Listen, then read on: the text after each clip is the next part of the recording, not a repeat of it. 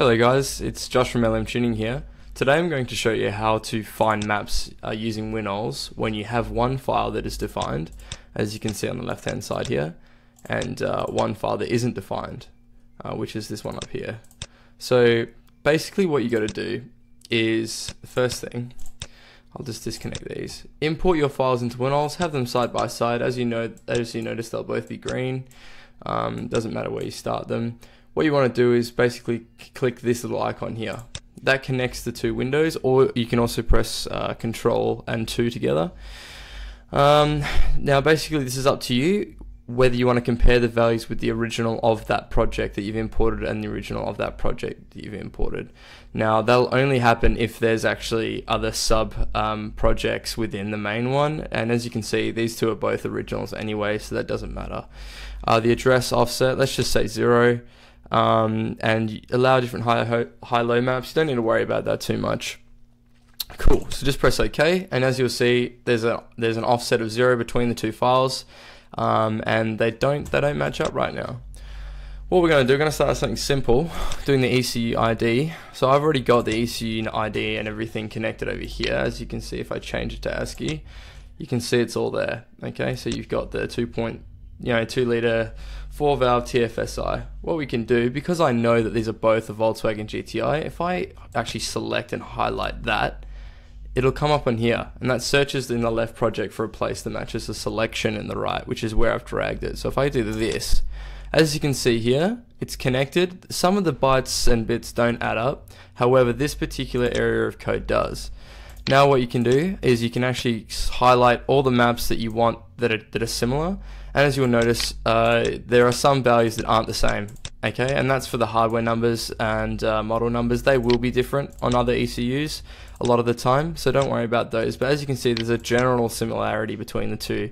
So if you just highlight the maps you want right click transfer selected maps okay? You get given this prompt here. So basically what you can do is you can actually transfer absolute and basically all the information from the right uh, the right window that I have here that's defined onto the left. So that will actually copy the data within the maps as well. But for the for the sake of this, all I want to do is transfer the map structure, okay? And that allows you to actually change it in the other one. So let's press OK. And as you can see now, the maps are on the left-hand side. So if I actually go into, let's say, the, uh, let's say, um, what, uh, engine type, and I pull this out, and then I change that to ASCII, as you can see, it's a 2 liter uh, 4 valve TFSI. Now I'm going to tell you a little secret here. What you can actually do is you can um, edit this block here um, and put whatever you want in there. So I'll just show you something. If you highlight that, go back to 32, go edit as text, you can actually change this to whatever you want. Hello tutorial, you know, it doesn't really matter what you change that to. Um, and basically what will happen is, funnily enough, if you go into VCDS and you flash this file on after check something it, uh, in VCDS in the component uh, information, it'll come up with hello tutorial. So you can actually make that whatever you want. I wouldn't suggest changing any of the other ones as a lot as the immobilizer has to match a lot of the data that's in these other other other memory for this particular thing. But um, yeah, that's just something cool that I wanted to show you.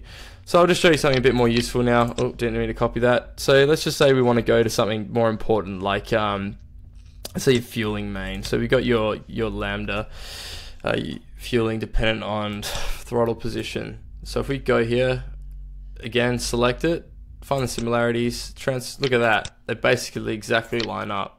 So I can transfer across that map there. Again, transfer nothing, they're the same anyway, so it doesn't really matter. But as you see now, it's, it's transferred from fueling main over in here to here, and it's also given us the folder as well, like this one has. Now I'll go find this as well. Let's try and just highlight some random bit of code. Is there a similarity? Yes, there is, particularly. So what I'm going to do, I'm going to highlight all of this. I'm going to keep going down. Highlight all the maps you want. It doesn't really matter. You know, whatever you feel like doing. Okay, right click, transfer selected maps. Okay, yep.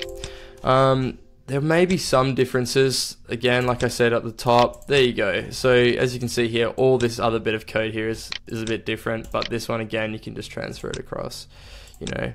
Um, but yeah, that's essentially how to transfer and find maps in WinOls when you already have one defined um, with two cars that are the exact same.